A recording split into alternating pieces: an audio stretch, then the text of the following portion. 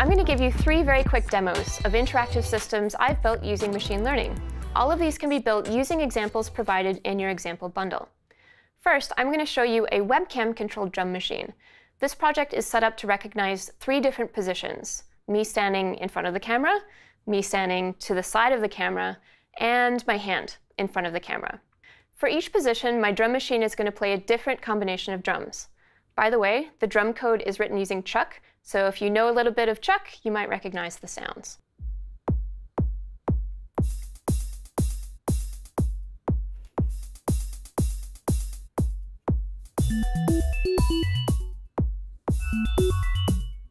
And there we go, all controlled using the webcam on my computer. Second, I'm going to show you a more expressive and flexible musical instrument. This one uses my hand movements sensed by this leap motion here. And it uses those hand movements to control a sound synthesis program written in MaxMSP. Here, instead of just choosing one of three different sounds, I'm making very subtle changes to three different values, each of which is controlling a different aspect of sound processing. Specifically, this Max program allows me to change the speed, pitch, and volume of a music sample in real time.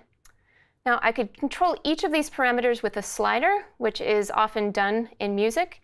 In my Max patch here, you see I've got a few sliders that I can use to control the sound.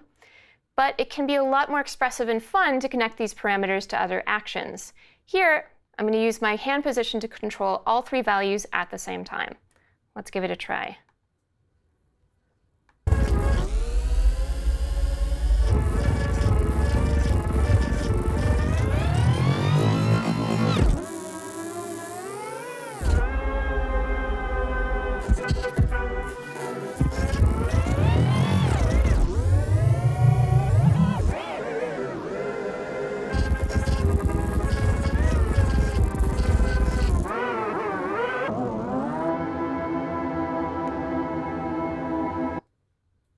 My last quick demo is going to use my voice to control the computer.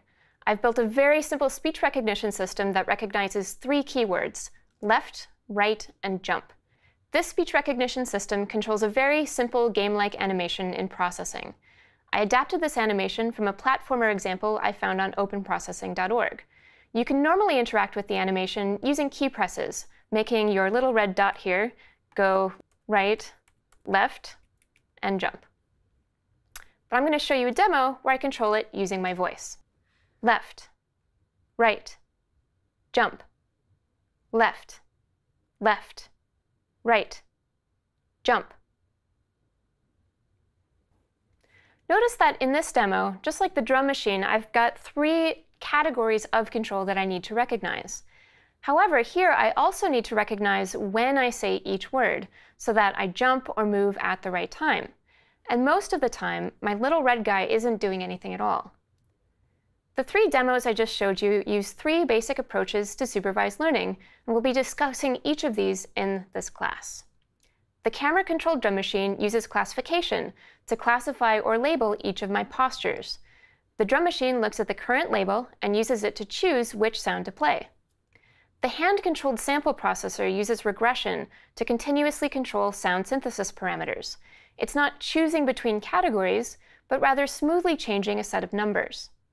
Finally, the speech-controlled game performs temporal analysis, analyzing how my voice is changing over time. It uses this analysis to recognize not only which word in the vocabulary I'm speaking, but also when I speak it. In this class, you'll find out how easy it can be to create these kinds of systems yourself. In fact, each of these demos took me only a few minutes to build, I didn't have to program anything at all, and I can very easily change any of them to sound completely different or to use different kinds of input control.